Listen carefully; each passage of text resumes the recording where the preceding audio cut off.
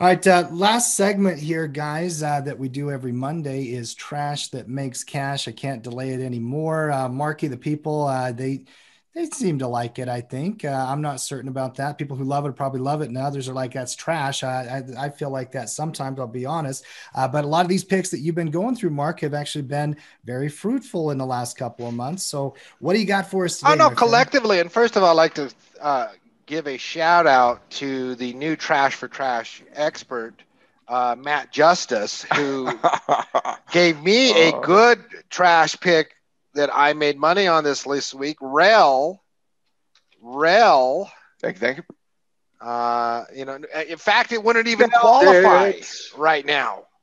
It wouldn't even qualify right now because no, it's above five dollars. I I'm the trash king. You're, you're, listen, I'm not afraid. That's, we have the architect. We have the queen. now, if you maybe if you and were we more got open-minded, Tim. Trash. That's me. I'm the king. Yeah, so I got to step up my game, or Matt's yeah. gonna steal my trash. Uh, yeah. my trash yeah. title. See that? Right. That's what I do, Mark. When I touch something, it's no longer trash. Listen, the first company I have for you today, because I'm interested, because you know we've had a real volatility on the underbelly, and a lot of the, uh, you know, this these cheaper stocks uh, they get swept up in that volatility big. And so I really was looking this week at companies that have done well in this recent volatility, held the own. Because once again, the broad markets do not let you know the volatility in the underbelly, the meme stocks, the theme stocks at all. So I look at companies that have held up a little well. Now, Matt and Tim, the first company I have for you at one point had a market capitalization of $41 billion. Oh, oh, that makes me care not at all. They once owned the naming rights to the home stadium for the New England Patriots. That makes me hate them even more. Uh, this is You're not doing a great job selling me on this big, bro. Oh, I just I just thought these were fun facts of the company. I just they, they don't matter at all in the analysis. I, I, usually I usually see naming rights on stadiums as as a really dumb way to spend your investors' money. It, it, it's questionable decision, and this is a former dot com dot com bubble bust. Mm. Steel Connect. S T C N, and if you go to a weekly chart for me now, one of the things I like is once again this st- stability because in following the underbelly, oh my gosh, so many stocks that are cheap stocks have just got rocked uh, over the last month. Uh, so many different uh, areas. I mean, you know, and, and I'm not just talking about stocks under five dollars, just you know, your SPACs and your theme stocks. And so I, I wanted to look at, you know, in the recent weeks when so much of this volatility has been going on uh, when even small caps have been struggling. Who's been holding their own? Who has been showing a little strength, and who might be on the verge of a technical signal? Uh, Steel Connect came off. Now, I will be the first to admit I don't know a lot about this this this company. So so many of the times I bring a pick here is because I love the stories, like Chico Voss. Like you know, I love those stories. And so I don't know this company as well, but so I did this in analyzing when I was scanning last night, you know, it's like looking for stability and pattern, looking for potential technical breakouts, and old Steel Connect came up. Now, if you go back to the daily chart, so the weekly chart has some smoothness to it. And from the daily chart perspective, we got some potential levels of breakout. Now you're clearing one of those levels today, right? A little short term uh, resistance from the last little week. But there's obviously a mile to go on the chart. There's a mile to go on the chart. Uh, from a technical standpoint, because that's the only selling case I have. Do you guys have any interest? To clarify, this is a shipping company, right? Not a steel company. They don't do ship. They don't do shipping. They do uh, supply chain management services. Okay. I see, like logistics and freight and all that kind yeah, of stuff. Yeah, And once again, I don't know a lot about the company itself. It came up on a scan. I did a little research and it's like, oh my gosh, they used to have the New England. And I was like, I remember them because I remember when the, the, the company lost the naming rights to the Patriot Stadium because they went bust. And then, then I was like, ah, oh, so little nostalgia memory from my football past. Right, right, right, right. Um, I mean, I see the pivot points changing here, obviously, with the momentum ch- rolling back into that. Obviously, the gap uh, from early January catches everybody's attention. That's where the volume is. It bursted out from a buck 40. Uh, looks like it popped up all the way to $2.90 there just in that one day. It's taken a couple months to compress that. Uh, it's not, I'm looking at the history of this uh, company, and it's starting to pick up since November. So there's there's something here above two bucks, but then you've got the left of the chart 220 and the 290. Uh, I don't know if I we could map this out. I have tepid interest uh, here uh, to be to be blunt. Well, I mean, when you look at it, you also look at it like pretend this was a two hundred dollar stock and it was a two hundred five. You know, two twenty that would give you a lot of room.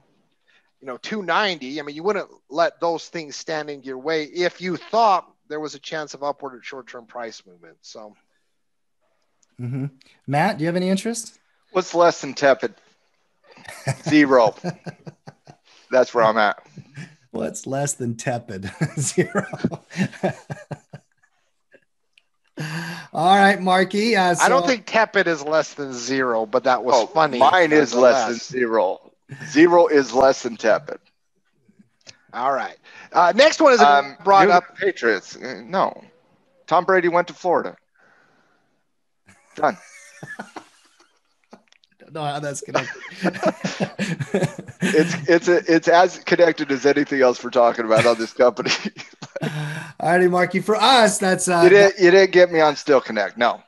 All right. The next one is can, can one. I tell you why though? Real, really? Yeah. Yes. Um, the daily chart is a garbage mess of dumpster truck fire. Like it's just you cannot get a read here. It's very, very difficult to get an accurate read here. Stop loss management would have to go under one five, in my opinion, to get outside of any of that chop.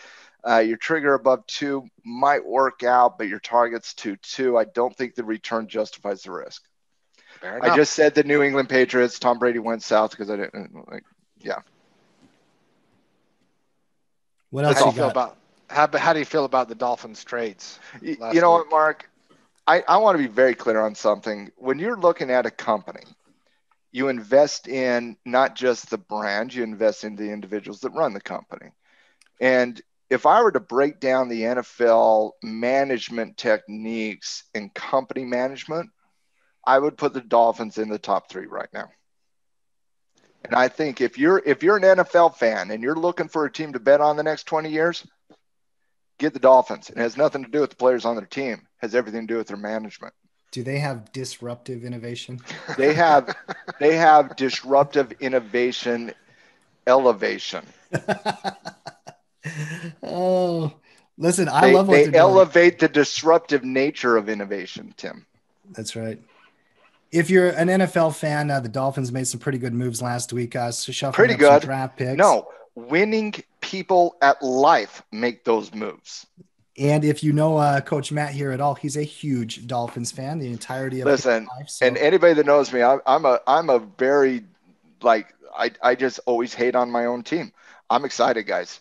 You yeah. wait till wait till the Dolphins start winning. You're gonna have to deal with that level of Matt. No, it's not good for you too. Coach, management, young players, good draft picks. They're the management, it's the vision, mm-hmm. decision making mm-hmm. process. Yeah, I have a lot more to say on that trade than I do this company. Mm-hmm. They should have kept Ryan Fitzpatrick as a backup. You're ridiculous. All right. I love my second and last one uh, is one I brought a couple weeks ago. It's been one of my favorite cash flow plays for the last year.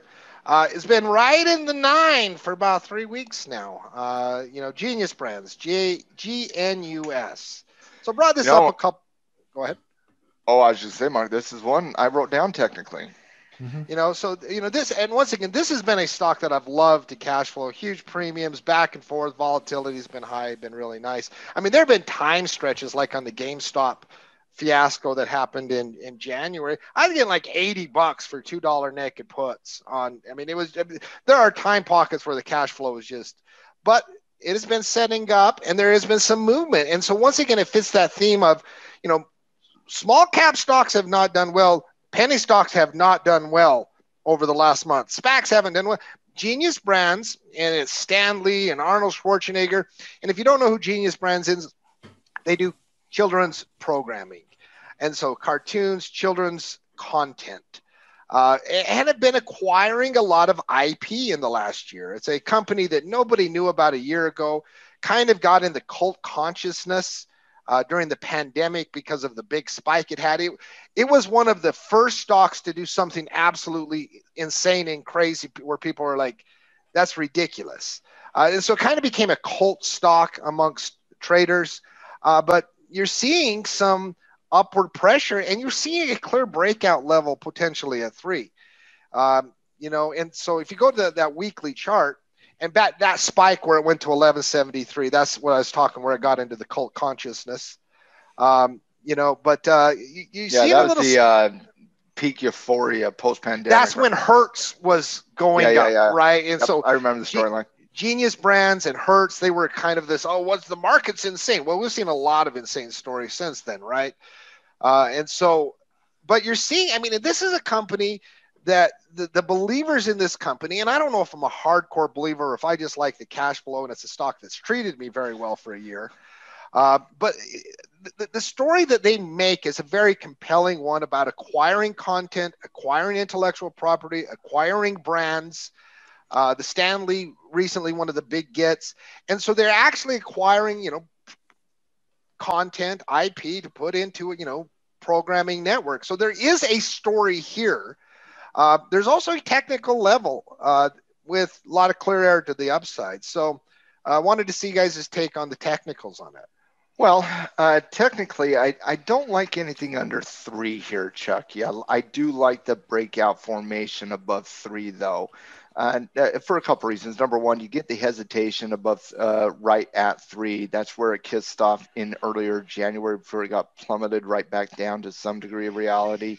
Came back up, fought against that three again, got beat up a little bit last week. Did get caught up in any type of bloodbath, though, really kind of riding that nine. I think that riding the nine really solidifies your your opinion on that potential breakout. So uh, that's first and foremost. I, I don't like the dip. I think the dip's choppy and would be difficult from a stop loss management perspective, but I do like the potential of that breakout. You look at that on that weekly chart, you see that breakout of $3 line up with the potential target uh, into the 325 range. That'd be target one. If you get above 320, 25, you got nothing until you get into the four.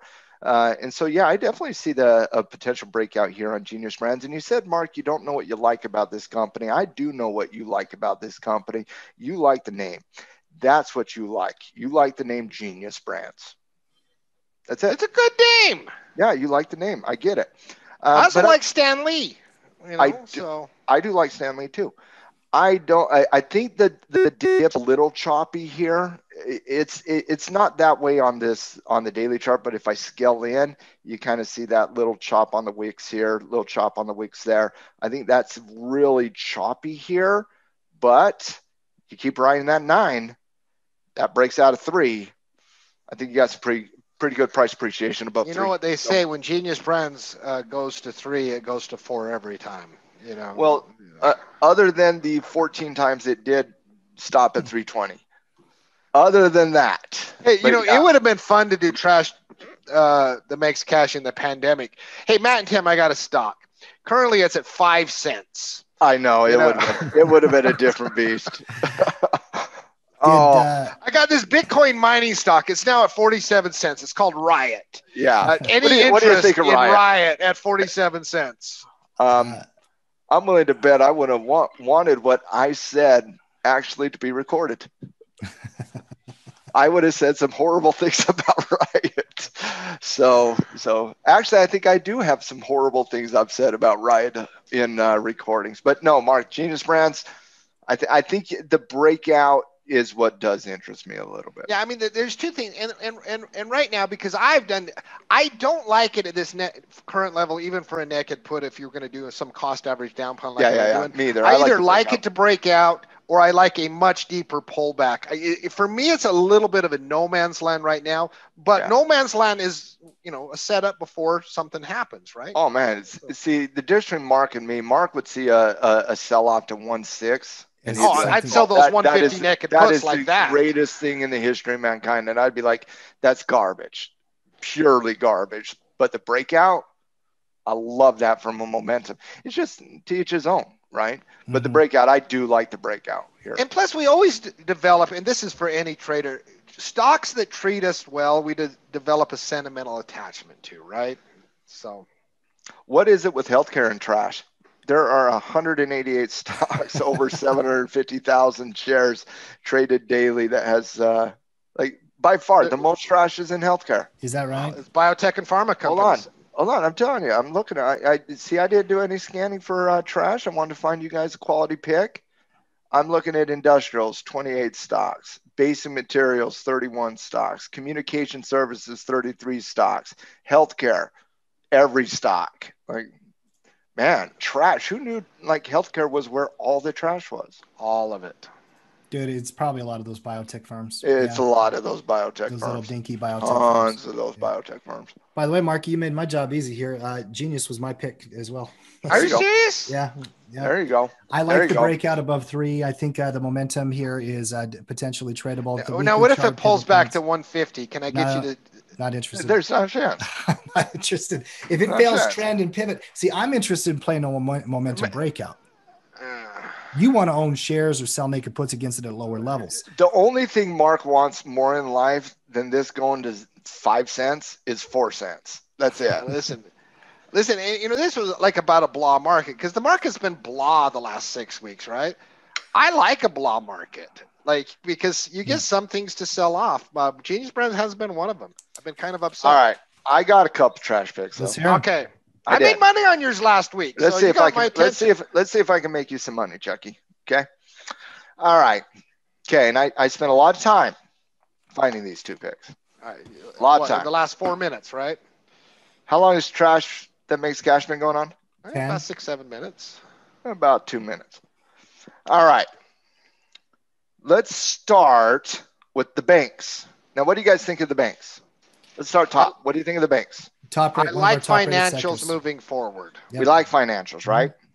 Yes. What what what bank do you guys like? What banks? Just give me a couple banks you like. Oh, we love Bank of America for cash Uh, flow. We love Goldman gotta Sachs love on, Bank of on the America street. cash flow, right? Uh, yeah. Got to like this trend, potential breakout there, 39, good cash flow play. I agree with that. Stable Mhm. company. What Mark? Give me a bank you like. Mark's got Uh, Mark. Mark likes Goldman. He, uh, he's he's a fan of the devil. I love Goldman. Yep, fan of the devil. Nice little, you know, bullish retracement coming into 320. I don't see this as pivot confirmation, so I do see that as a retracement, a little deeper retracement, but I, I, I can see it. Okay, all right. Tim, where's where's all the where's all the like old money banks? I want to see. Okay, what city? Halftime crew. This is this question for you. Matt's gonna What Talk about- city? What city has all the old money in? What city has uh ooh? Where's the mecca of forex trading? In what city? The what me- city? What do you guys think? oldest money in the world. I'm, I'm Well, I was thinking Zurich, Switzerland. Well, I was thinking Mm-mm. London. Mm-mm. I was thinking London myself. It is London. It Yeah. is London. Did- London. Fun Lloyd's. fact. Fun fact. London. Fun fact. Fun Did you know fact. there are more billionaires per capita in London than any city Yep. in the world? London's financial mecca. Uh, you got you got Lloyd's for us, don't you? Lloyd's. I do have Lloyd's banking. I know my under Group. five tra- stocks. I, I I was giving you a couple hints. I was giving you a couple hints, but I got Lloyd's banking group here under five bucks. How do you not play that breakout? Here's It's what I like. Here's what I like about the breakout. It is, like Mark said, very, very clean. It's a lot cleaner than most of those big name uh, charts you'll look at the Goldman Sachs, the Bank of Americas, the Morgan Stanleys of the world. You want to go look at your insurance companies? You can find some chop there. What you're not going to find is a better potential trigger in the entire financial That's clean. the one above 231. That clean triggers, you know what else they happen? They get clean stop losses, guys. Clean triggers get clean stop losses. That's why we love them. And so you got that clean trigger here, you got a clean stop loss underneath 22. And so you got a trigger above 231, you got a stop loss underneath 22, and you let it ride. So Lloyd's Banking Group on the breakout of 231 with the stop underneath 22 is the financial trash company that hopefully triggers this week. Mark, what do you think? Oh, 100%. No brainer. Tim? If it if it triggers, you're in. Tim? No, I'm passing. Tim, don't what? Tim, see, he Uh, sees uh, uh, genius let's, brands let's hear, he's let's hear. him. Let, uh, uh, I know me- why he's passing. I would like Uh. I would like to know why Tim doesn't like this trigger. No, I do like the trigger. It's there. It, it's definitely qualified. It's the ADR nature of uh, the little gappy stuff. It's that it, he, it's too boring for him, man. It's too The boring. for him. ADR? That's his way of Are saying you if kidding me? You vetoed based on ADR? That's why you vetoed that Hey, trigger? Hold on. I'm not done, Mark. I'm Oh, not it- done. Hold on. Look at how this lines up historically. now you didn't show me the Look, weekly. hold on. Hold on. No, because all you saw was ADR in the name. You were such a brand guy. Oh my goodness. if that didn't say Apple, he was out. Like he's like, no, it's got to be a brand. Where's the queen? Um, like, look at that trigger on the weekly chart. Look at that stop on a dime. You can't say you want the queen. You just said you wanted to trade Genius brands. The you don't know. You don't the get queen, queen- back The up. queen trades this above 231. That's what the queen does. You can trade more than 100 shares, Tim, to make it exciting. If the ADR isn't enough yeah, for you. you don't have to buy one share, bro. Tyler. I like it. I like. It's No, clean. Tyler would absolutely. Mark, would Tyler be on my side? Dude, on that this? clean as it can be yeah. in a hot area of the market. Tim. You you vetoed this. Oh my goodness, nobody would have vetoed this in the in the in the. Oh, To be clear, I didn't veto. I passed. you vetoed. Okay, what else I you like Matt? it. Veto, I like veto, it. I like it. Let me see if I can get Tim on something else. He doesn't like clean breakouts in the banks. Um, okay, Tim. I I found something that was that was more more Mark. I was thinking about Mark. I was thinking about Mark, but maybe I can get you here too. All right. Now this is USWS, US Mhm. Well Services. It is an it's an energy company, oil and gas specifically. All right. Now, Mark, your take on energy specifically. What's what's your take on energy here in, in the in over the next say two weeks, two three weeks? Oh, two, three weeks. I don't know. I mean, shoot, two, three weeks, anything can happen. Long term, I like energy. Long term, we like it. Two three weeks, we could anticipate a little bit of a drop. Correct? Mhm. Yes. Mhm. kind of, kind of that's kind of the yeah that's how i see it as well so when you're looking when you're looking at energy itself there's a few different industries that you can also uh, that you can also look at this one is specifically an oil and gas company is what it uh, is what it is. Now i want to say i don't know what the current market cap of this company is. Let me let me get you. I don't think it's very much. Like 85 million dollars. Yep. 85 million dollars. Market doesn't have a pe ratio obviously. A lot of energy companies don't. It's a debt driven company right now. You also have a company though that does have a forward pe ratio mark. I think you're going to get a little excited about this one. Mark it has a 7.54 pe ratio okay? Debt driven right now 7.5 forward pe ratio price to book is in the negative assets aren't good again it's its fundamentals are trash there's no doubt about that but I don't see anything so disconcerting in its fundamentals that would say that you couldn't find in, in a Conoco Phillips right now, right? Because Hmm. Phillips debt driven too. So USWS fundamentally, I don't have that many concerns. It's a trash company. That's the disclaimer. What I like about this is technically driven, not fundamentally driven. This horrible, volatile retracement, where's it coming into? Right there. resistance. Yeah. Well, I'll Yeah. give you even one But- better. Go go to Hmm, the weekly chart. Yeah, yeah, I'll get there, Chucky. Now, you see that little slowing momentum here? That's dinging right at a dollar. The significant whole number, right, is one dollar.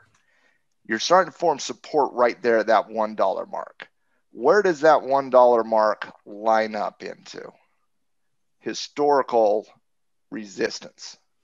So you see that one dollar, one dollar, one dollar, one dollar, one dollar. You like that historical resistance zone. You look at that on the weekly chart. Hmm. You see that W long term W formation, right? Long term W formation. Plus, last week in the breakout? volatility, Yeah, go it, ahead, came, Chucky. it came down to the 20 weekly, stopped on the penny. Stopped shows on where there's no the- fear. penny mark. Stopped on the penny. Look at that. Let, let me get in real real tight against that. You see that wick right there, Tim? Mhm. That is literally on the penny of that weekly, right? So you got a real good backdrop. What that also means, Mark, is I got a real good stop loss underneath that tick there. Got a real good stop loss underneath 91 cents. Clean stop loss underneath 91 cents. Let's come back to the daily chart. Now, this is a uh, short-term bearish downtrend. You're looking at this as a as that support level forming at that one dollar mark. Obviously, we're going to look at this here. You see it within the range there, right? It can stay within this range. You could care less. You really could care less. Coming back out to the daily chart, you're probably looking at a trigger, and, and honestly, I don't know yet because we're talking about a retracement that's finding support. And so I don't know, but you're probably talking north of 1 1. And so you're looking at an entry above 1 1. Your stop loss is under 91. You got the backdrop of the technicals. You know the support level you're dealing with. Tim and Mark, what do you think of a potential buy the dip candidate weekly style on USWS? I'll go first. I, I like it. I think, uh, first of all, I love the developing trend on the weekly chart. Uh, stop loss placement. Where, where do you have it? Just underneath the pivot. Under nine one. It's got to be. It's got to be underneath the uh, pivot on the weekly because that's where you're lo- really looking at supporting that tested nine one. Sure. So it, it would have to be under nine one. Yeah. Yeah, uh, I do like it. I love uh, the the potential reward to risk dynamics when you take it a play like this. This is a dirty little cheap uh, penny stock. Obviously, we're talking about a dollar company, trash that makes cash. It's in this segment for a reason. Uh, the fact that you can even map out clear stop entry target on this is a good sign. You know, it doesn't see it does seem to trade pretty well technically. It trended up nicely. It's now been trending back down towards that old retracement uh, level. Now, mind you, I don't. this is not a swing trade. Nope, it's not. Uh, we're talking about a weekly retracement. That, that that's not how you start swing trade analysis.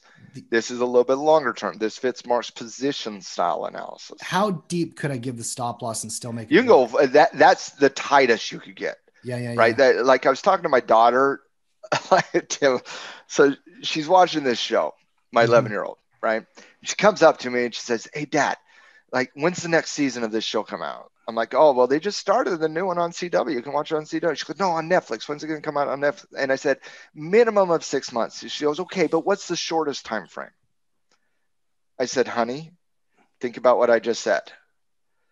So the shortest time, the shortest stop loss you would do is 91. Mm-hmm. Now the question goes to what's the max, right? Mm-hmm. Well, that's based on reward to risk ratio, and position style analysis would definitely be targeting up in the in, in the two range position style would. Mm-hmm. So you can give that stop loss enough room, but you got to be, I would say, north of one one one forty. You got to be north of once. You got to be north of sixty five and south of ninety one.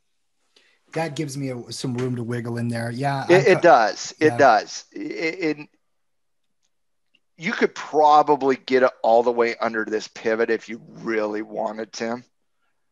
Like you could get it all the way under there if you really wanted to. But at that point, you're saying it's getting back up here, and I just don't know if that's realistic. Mm-hmm. Mm-hmm. So I, I I do like a little bit of a tighter. Maybe you can go under 85 here. Yeah, Underneath 85, you got some chop here. You can get under 85. I like the minimum of 90, uh, a minimum stop loss underneath, uh, again, south of 91, north of 65 that puts you into that pivot range. You could get it underneath 85 and feel perfectly fine with it. I like it. I, I like the numbers. What's up, Gino? Mark, what do you think? No, I no, I like. I mean, and, and you're seeing a lot of weakness. Mark right walked now. away and bought shares already. you know, no, Mark probably checked the option chain first. No, he's like, there is no option chain, unfortunately. No. This so. this is not this is not one of those ones that Mark can can do a lot of naked put analysis on. Mm-hmm. No, so no, I like it. The 20 weekly bounces off the 20 weekly in uh, the, these smaller companies like this in this situation. It's a no brainer for me.